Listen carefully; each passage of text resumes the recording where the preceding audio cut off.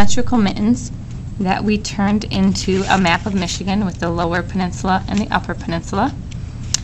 And now what we're going to do is we are going to add some details to give it a little something extra special. So we're going to add some snowflakes around it, like there's snow falling around our mittens. So I have some white paint, and I have a very special brush. Teeny tiny on the end. So you're going to have to be extra careful with these because it's going to be easy to accidentally um, ruin these paintbrushes if you press really hard on them. So we need to be extra careful that we just go really lightly, barely touching the paper with them. So I'm going to show you how we're going to use this white paint and this special brush to make snowflakes around our mittens. When we're making these snowflakes, we want to make sure that it's only on the blue. We don't want any snowflakes on the mittens at all. So I'm going to get a little bit, I'm looking in there to make sure that I just get a little bit of paint on the very end of my brush. It's just on the bristles. It's not on the metal really at all. And then I'm going to very gently make an X on my paper. And then I'm going to get a little more paint and I'm going to make an X going through the other way. So now it's going to go across this way and across this way. And I just made a snowflake. So I'm going to keep going with that. I'm going to get more paint on my brush again and go to a different spot and do the same thing. I'm going to make an X and then I make an X going the other way. And I'm going to make snowflakes all over my paper. Again, I'm being very careful with the brush. I'm not pressing very hard on it, just very gently.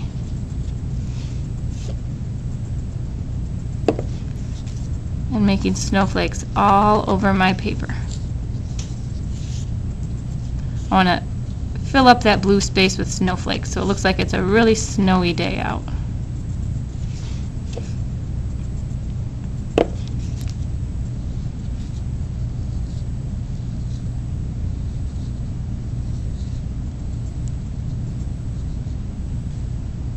Now when I'm making the snowflakes over here, I have to be careful that I don't get my hand in those snowflakes. So I might turn my paper a little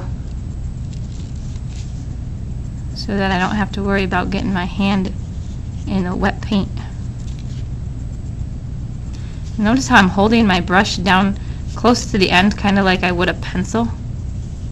Makes it so it's easier for me to control it. I can make nice little lines. If I hold it way up here, it's going to be hard to make those little lines. So I'm going to scooch my fingers close to the bottom of it and make those snowflakes.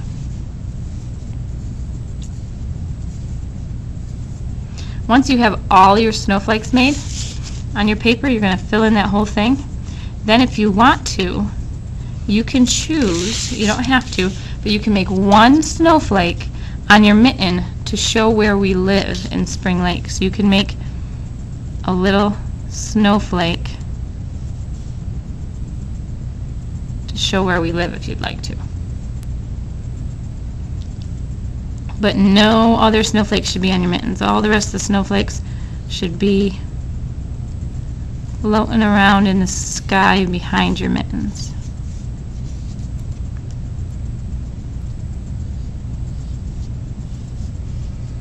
So you can go ahead and make those snowflakes and keep going.